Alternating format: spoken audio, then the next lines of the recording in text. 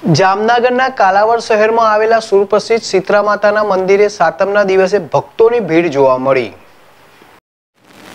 જામનગર જિલ્લાના કાલાવડ શહેરમાં આવેલ સુપ્રસિદ્ધ શીતળા માતાના મંદિરે સાતમના દિવસે ભક્તોની ભીડ જોવા મળી હતી.